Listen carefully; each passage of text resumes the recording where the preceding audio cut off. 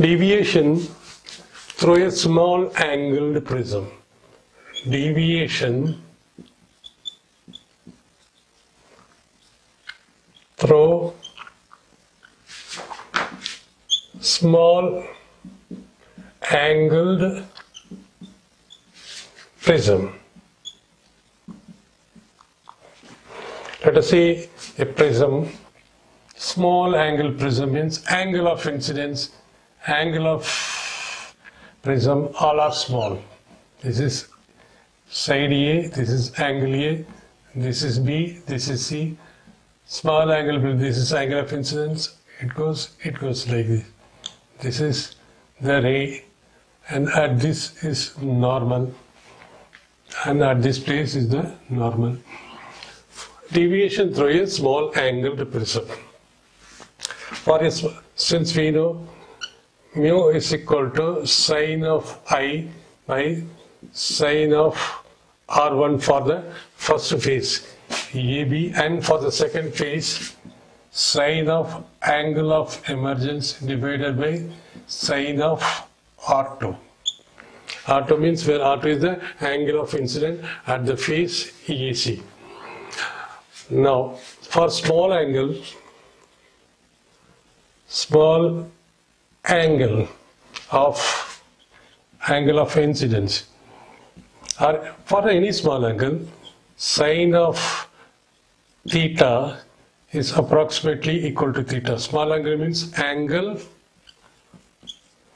less than 10 degree is known as small angle.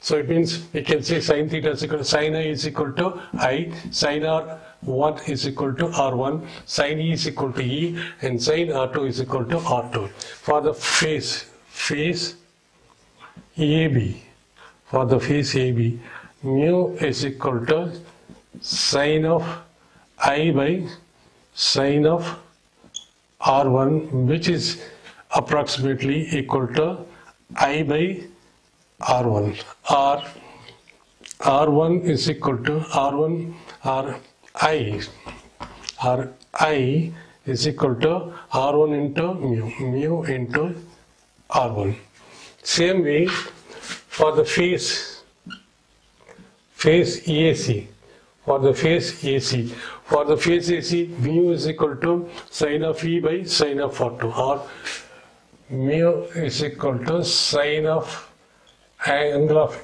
emergence by sine of angle of R1, sine of R1 or this can be, we can approximately equal to E by, should be R2, R2, R or E is equal to mu into R2, mu into R2.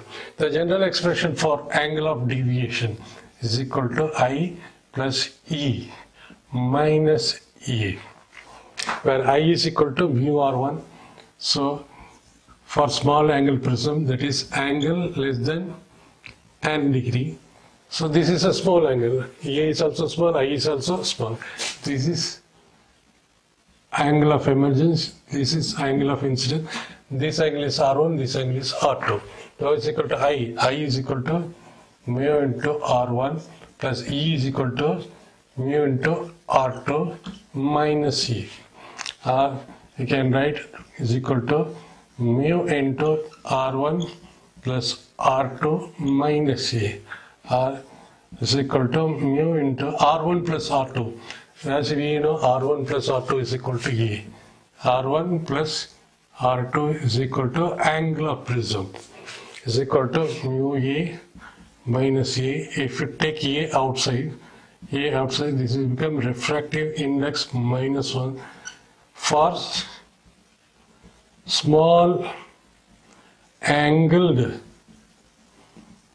prism. For small angled prism, angle of deviation is equal to refractive index minus 1 multiplied by angle of prism.